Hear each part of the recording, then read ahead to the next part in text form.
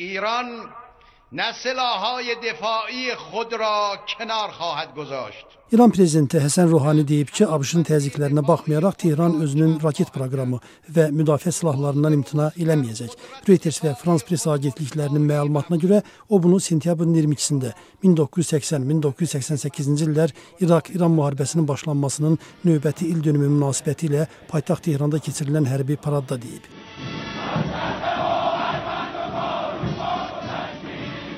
Məlumata görə hazırda İranda İsrail və ABŞ-ın yaxın şərqdəki bazalarını vura bilən ballistik raketlər var. Bu raketlər 3500 kilometrlik məsafəni vura bilir.